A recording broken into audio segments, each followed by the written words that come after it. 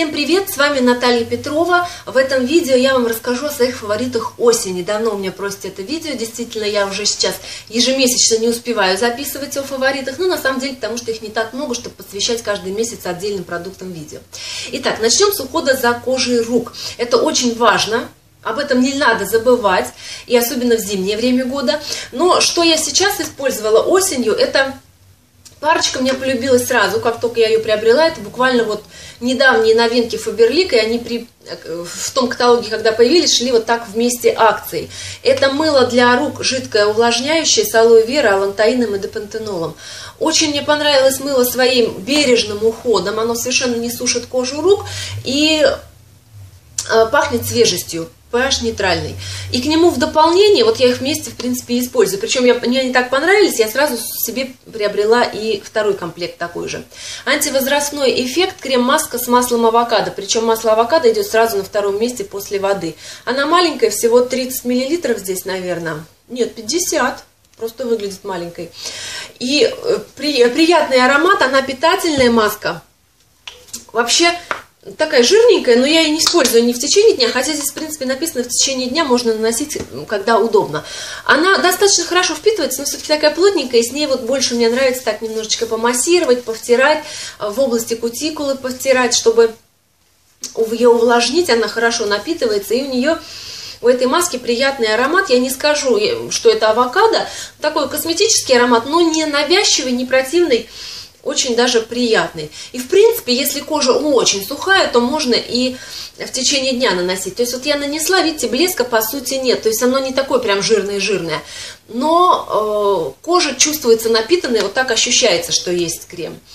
Поэтому Конечно, лучше это на ночь нанести, то есть это не то, что маска там нужно где-то смывать, нет, наносить как крем, но по своим питательным свойствам она ближе к маске и очень здорово. Вот этот набор я рекомендую. Вообще за кожей рук нужно очень внимательно следить, потому что лицо мы можем поддерживать, да, все, что дальше, пусть стареет и какой будет, ни в коем случае. Поэтому я всегда внимание уделяю и особое внимание и мылу для рук, потому что если сушит, то это никуда не годится. И, конечно, крем, который был бы комфортен и хорошо работал.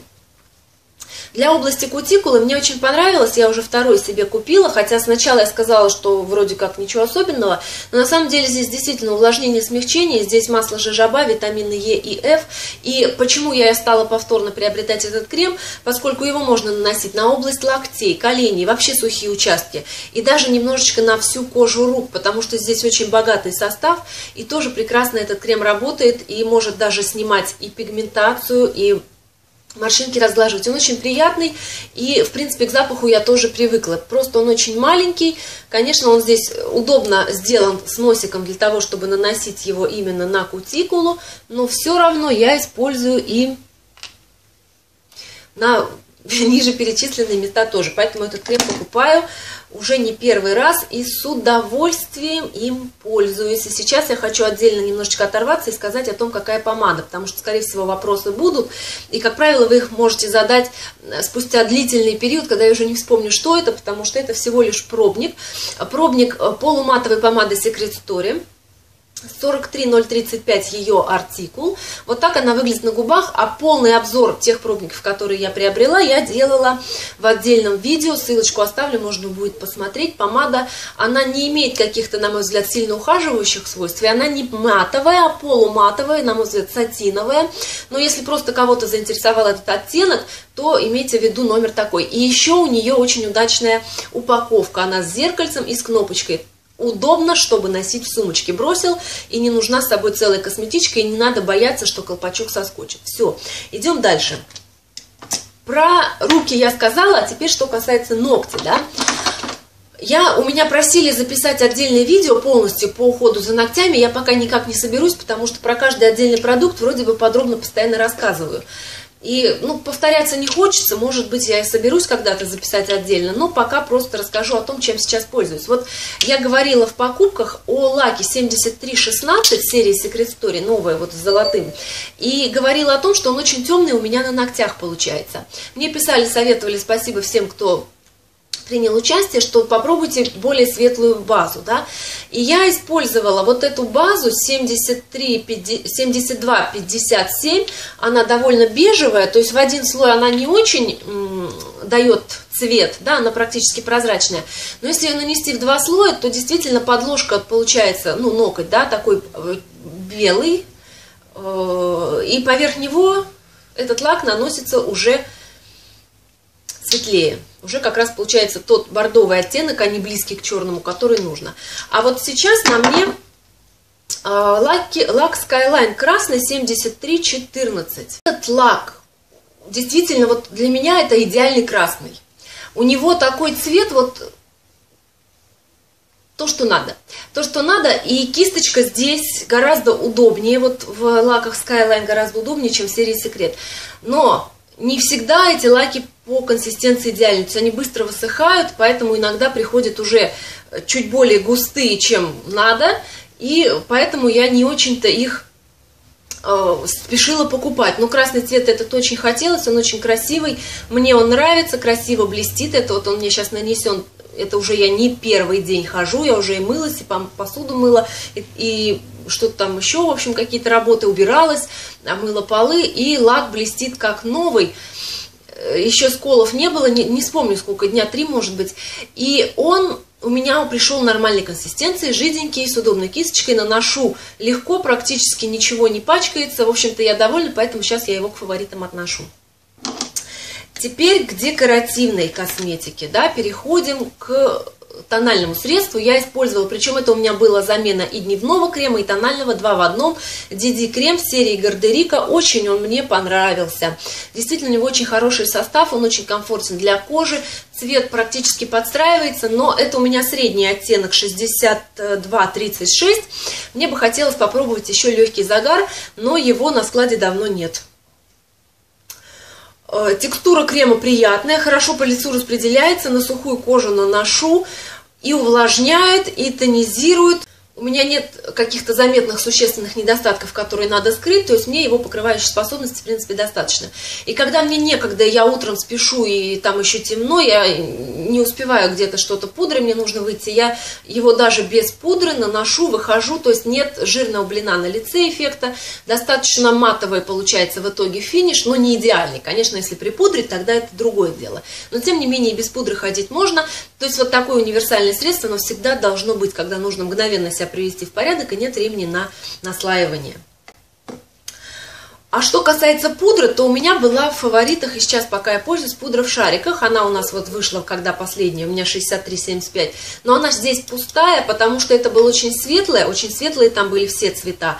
Я их смешала с теми, что были ранее, вот в такой это уже давно вышло, это прошлогодняя, по-моему, была лимитированная коллекция, и здесь были темные шарики, а здесь были светлые шарики. Вот я их смешала вместе, и у меня получилась пудра, которую я могу наносить на все лицо, то есть не просто хайлайтеры, как вот это, или бронзер, как это, а такой вот все в одном смешали, нанесли, и получается легкое свечение, плюс все-таки заматировали мы крем, плюс немножечко так выровняли оттенок, придали ему такой э, естественное, естественное сияние, да, эм, Сегодня я их, правда, не их использовала, сегодня я наносила пудру Secret Story, но я сейчас ей практически не пользуюсь.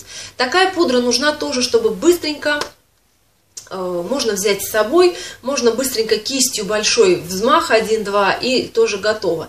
То есть это такой, ну это матовая пудра, она у меня тоже средний оттенок 63-16, он мне чуть-чуть темнее моего основного тона, меня это устраивает, но она вот дает полностью матовый финиш. А пудра в шариках легкое такое подсвечивание, которое мне очень нравится, поэтому пока им пользуюсь. Что касается теней, я не могу сказать, что я какими-то одними особенно пользовалась. Беру все время из разных палеток разные оттенки, но вот сейчас последнее время, последнее время, да, месяц точно, я использую тени это вообще у нас волнующий нюд, по-моему, серии Skyline 5592. Это, конечно, далеко не нюд, я эту палетку показывала, она, видите, как пылит. Ну, не обращайте внимания уж, какая есть. Тут просто очень и очень много золотых блесток и в светлом оттенке, и в темном. Черный цвет я использую. Этот золотистый, ну, можно, конечно, для такого вот растушевки и общего, но это слишком сияющий получается, и золотые оттенки я не люблю. А вот этот черный, почему использую, он дает действительно угольно-черный цвет. То есть я беру кисть, наношу этот цвет и получаю альтернативу подводки черный. Причем, если нанести 2-3 слоя, то получится черный, черный, черный. Ну, мне сейчас вот на верхнее веко такая подводка очень нравится. Я прям толстым слоем наношу. Ну, вот хочется мне сейчас такой черный. И получаю я, в принципе, довольно стойкий оттенок. Единственное, что эти золотые блестки, они, конечно, сохраняются на глазах. Их не так много, и то, что они немножечко э, поблестят, но ничего страшного, осень. В принципе, сейчас уже серость, листья опали, и на фоне общей такой промозглой погоды э, кругом все серо, блест... пусть пара блесток на глазах придаст какую-то яркость, да, краскам. И последнее, наверное, на сегодня, нет, не последнее, еще два продукта. Паста, чуть не забыла про нее, я ее не показывала в покупках и не показывала в новинках, потому что купила чуть позже. Покупки я вам тоже не показываю уже свои последние несколько каталогов, лишь потому, что покупаю только новинки, а о новинках есть отдельные обзоры. Что-то, может быть, из раза в раз я приобретаю в запасы, но это то, о чем уже не раз тоже сказано. Поэтому как-то о покупках особо нечего сказать, и отдельных видео нет. Вот эта паста, я долго не знала, что про нее сказать, поэтому она уже почти закончилась, а так и осталась без обзора. Это паста 1657 для э, чувствительных зубов. У меня зубы бывает, что бывают чувствительные, не всегда, не все, но бывает. И мне кажется, что немножечко она помогает, совсем чуть-чуть. По вкусу, потому как она практически не пенится, это мне не нравится. Я люблю легкий мятный запах, аромат, да, либо вкус, либо ну, какой-то вкусненький, там вообще вкусненький. Ну, чтобы он было, чтобы паста пенилась. Здесь ни то, ни другое, хотя я ей пользуюсь каждый день. Я не знаю, почему у меня рука тянется каждый день именно к этой пасте, потому Последний фаворит, это действительно фаворит, я давно не покупала, но сейчас пользуюсь, потому что заметила, что поры пора почистить.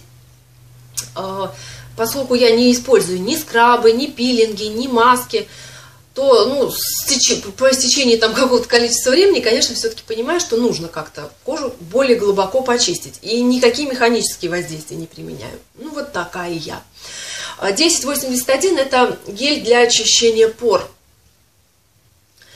Он, во-первых, мне очень нравится его запах. Поскольку это продукт, который должен быть какое-то время на лице, естественно, его запах не должен вызывать отвращение. Наношу этот гель на сухую чистую кожу и даю ему чуть-чуть повсохнуть, чуть-чуть побыть на коже. Дальше его нужно скатать. И вот я не жду, когда он высохнет, и не тру по лицу сухими руками сухой гель.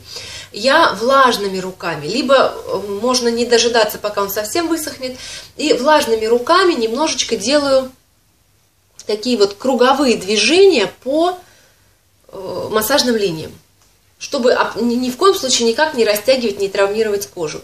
И этими круговыми движениями мы создаем такие вот скатывающиеся. Ну, сейчас он у меня влажный, поэтому не будет видно этих катышков, но тем не менее, таким образом, особенно это нос, да, немножечко лоб, подбородок, это позволяет почистить поры действительно хорошо и дает такой вот свежий чистый вид лицу.